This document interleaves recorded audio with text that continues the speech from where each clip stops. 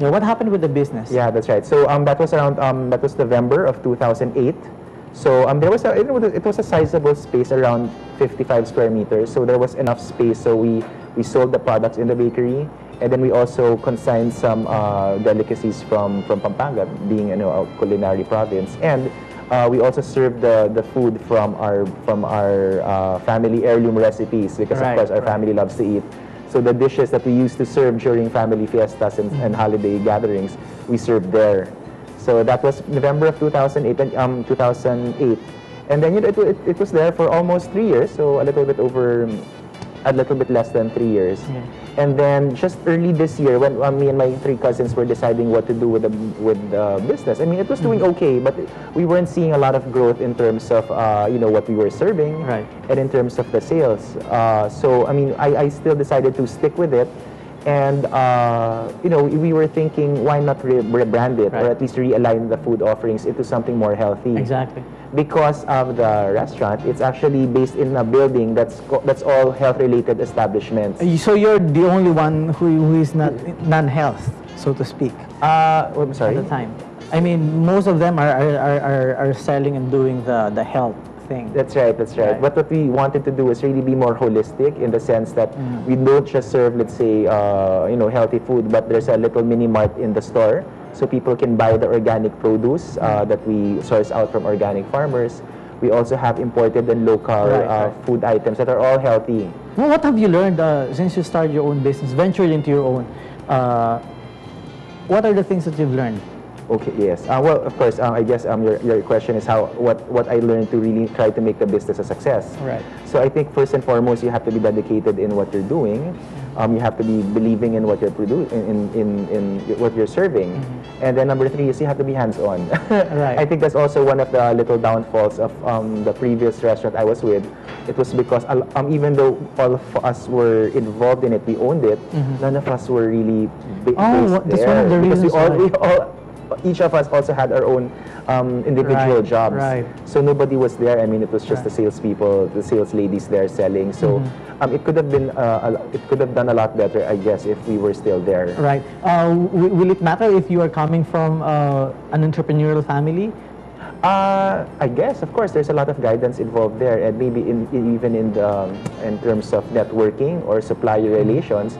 If you know your family has you know uh, um, these contacts in let's say the, the, the supplier side Right. or let's say even in in sales they can refer you to potential customers that would be good. But otherwise, it need not be Mm-hmm. Right, uh, right. I mean it's not a requirement. You just have to be creative. I, I also understand that there were also some some resistance when you started. What are those resistance?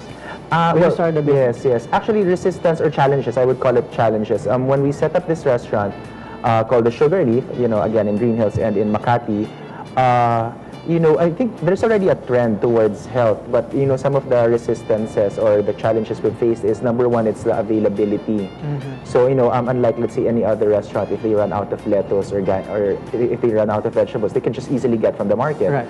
But because we stand for organic and natural produce, we cannot just do that. You know, we have to source out Mm-hmm. Right. other um, organic uh, practitioners. Right, exactly. So, you know, especially when we decided to already branch out into our 2nd Mm-hmm. branch, I mean, we were getting our produce from, from up in the mountain province. So it will have to travel all from. Yes, it, it's shipped um, from, Pam- from Pampanga, from, from uh, the mountain province Yeah. twice a week, Mhm. and then we distribute that to the two uh, branches. But Why now- sugar leaf?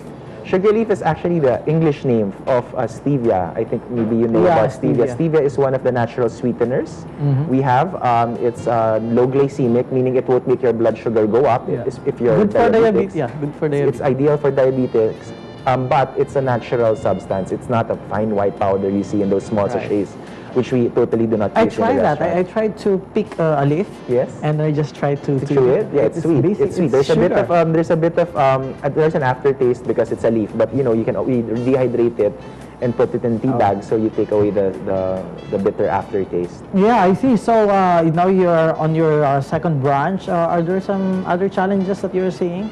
In terms of Uh, competition, I think more, more people are going to organic. That's uh, correct. Farming Um, organic. Farming market. organic, yes. Actually, there is a discipline in terms of uh, organic, ano, organic restaurants, organic farms. Uh, for organic farms, is they do not, they cannot use uh, artificial or synthetic man-made um, pesticides, Fertilizers, yeah. And for produce manufacturers like poultry and chicken, they should not be feeding the, the animals Yeah, with- uh, growth hormones and, and stuff like that. They should, so they should only be fed with, with natural feeds or, or greens.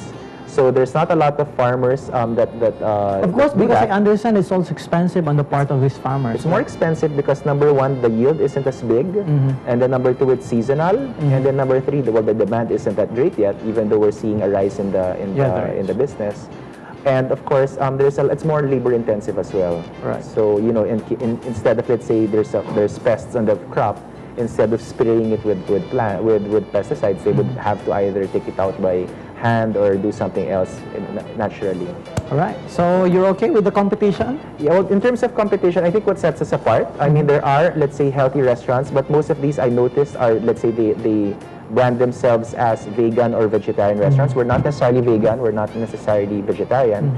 We just stand for good, wholesome, healthy, delicious food. We have to make it delicious. Otherwise, we can make the healthiest food, Right. but if nobody And- will and eat it, the kids won't delicious. eat it, um, it's, it's really pointless. So, Right. and aside from that, aside from the food, we also have, uh, you know, again, as I mentioned, the little mini mart where people can buy the organic produce, the organic chicken. I'm interested with that with that part because you know most of our mini marts they are they're not just they are non-organic. So non-organic and then it's it's spread out when you know let's say in the supermarket there's an organic section there Mm-hmm. or if, if you're unlucky it's it's spread out all over the place but what we try to do is we pretty much funneled everything into our Right. store that when you come there you're not you know you don't wonder what is good for me basically it's it's targeted. yes Okay. exactly Thanks so much, Angel, for, for that. thank you Text, text and call us and we'll ask your questions. I'll be back with this week's top 8 wa- ways on how to get up after business failure. Stay tuned.